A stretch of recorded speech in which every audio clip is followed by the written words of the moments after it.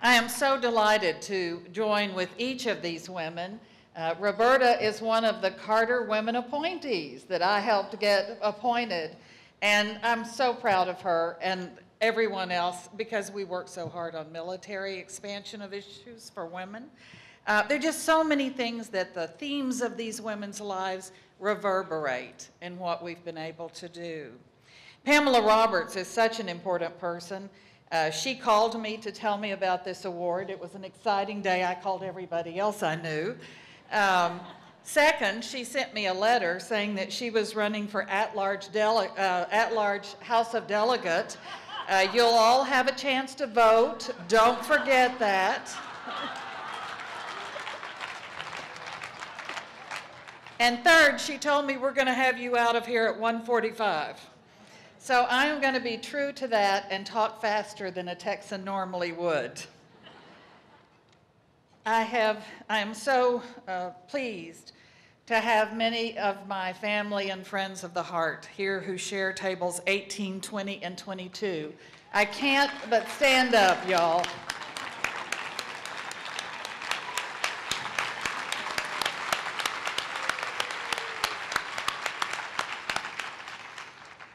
I am so pleased to have all of them here and my friends from the IRR committee I know have a table, I just have no idea where it is. And I was thinking about people who are here who were in the videos of various people. Um, for example, I know that Chief Justice Judith Kaye is here. She was mentioned earlier. I know she's somewhere in the audience of New York. Uh, Liz Holtzman was in the picture of the signing of the extension of the ERA, and I know she's here, although I know not where.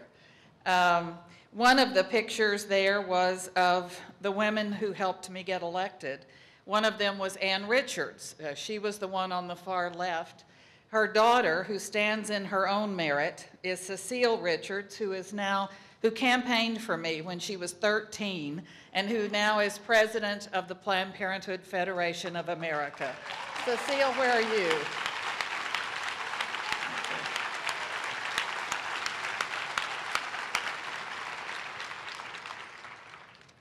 I think about the people who are the Girl Scouts and who led us all. They are still seated with us, those who could stay, and it reminded me of the words of Bob Hope, uh, excuse me, of George Burns. You know, George Burns died when he was 100.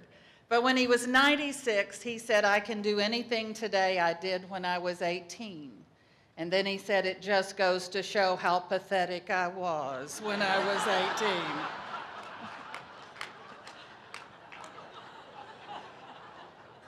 and I look back at when I was 18.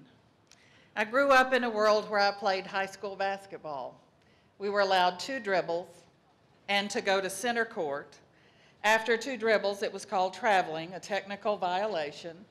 And at center court, we had to throw the ball to our team members on the other end of the court. And I was one of those women saying, why can't we just keep running?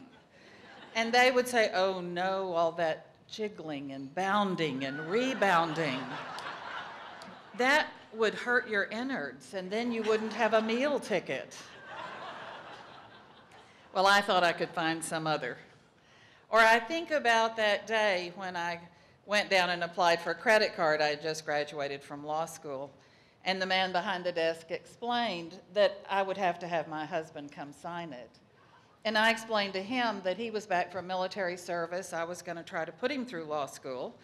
But he didn't have any money, and the only money, well, little GI Bill, uh, but the money was basically mine. And I thought my signature should be sufficient, and he told me he didn't care what I thought.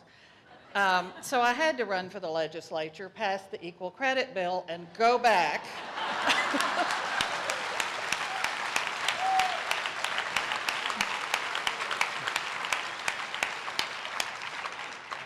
there are so many ways in which these young women who are less than 18 have a world to occupy that is so much different from the one I started out in. And one of the joys of my life has been trying to expand the options for women, to push back barriers, to rebel when people said women don't, women can't, women shouldn't. I was so proud when I won Roe versus Wade, but not just for me. It was because we had pushed back barriers and given women a much wider world to occupy.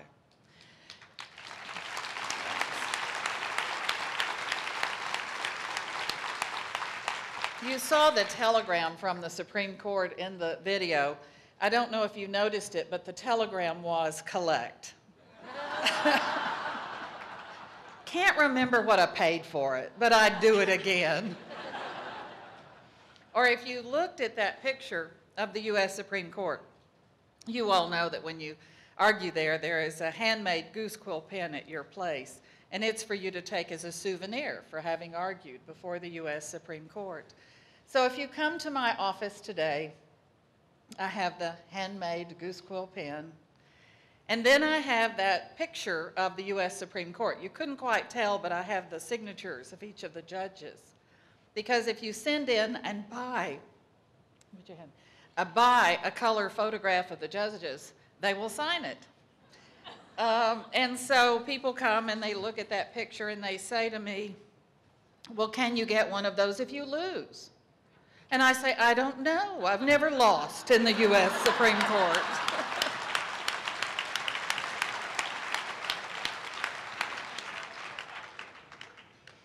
I think about the women we have appointed under Carter's leadership to the Supreme Court.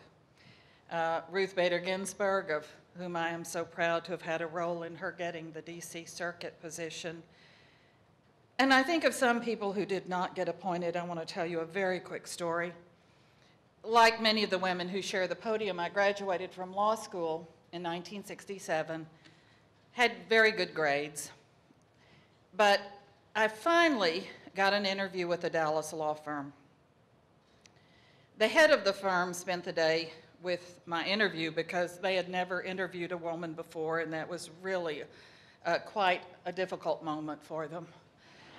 and they were saying things to me like, lawyers have to be home, I mean, lawyers have to work late. Women have to be home to cook dinner. How could you do both? Or things like, to really train a young lawyer, we have to be able to cuss them out. We can't cuss you, you're a woman. And other objectionable uh, objections of that level. I did not get a job. It's partly why I could volunteer to do Roe versus Wade. Um, but 13 years later, the senior partner wanted to be a federal judge.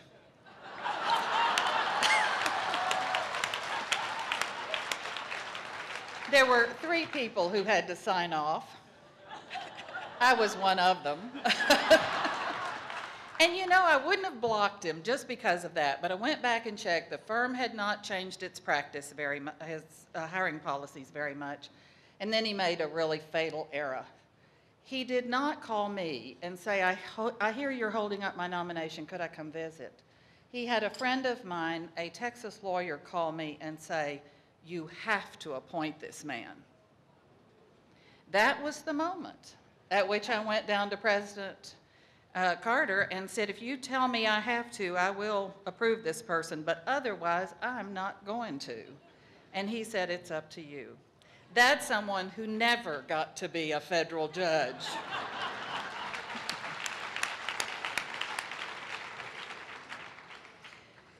Time Magazine called me in 03 and said, we're going to do a special issue of Time Magazine on 80 Days That Changed the World. It is, it is our 80th anniversary.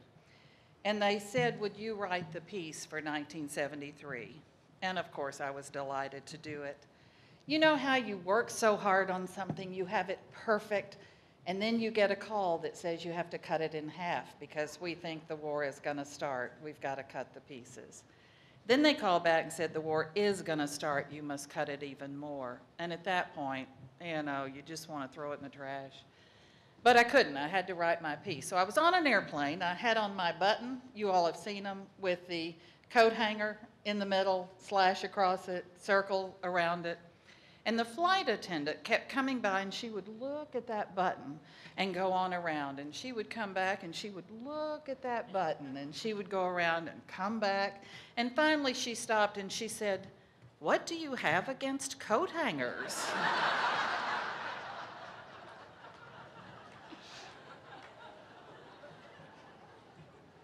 There are many ways in which we all are historic, partially because we have indeed changed the world. There is no one person, while we hold up each of these people for their wonderful accomplishments and characteristics, there is no one person that changes the world. It is a combined effort. An effort by every one of you, men and women who are friends of the principle of equality, who sit in this place.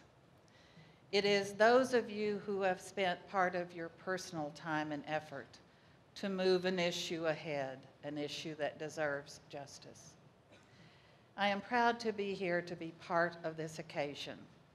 I thank you for your tribute to principles that we have long worked for that no woman should have to stop at half court. And in the Olympics, they're not.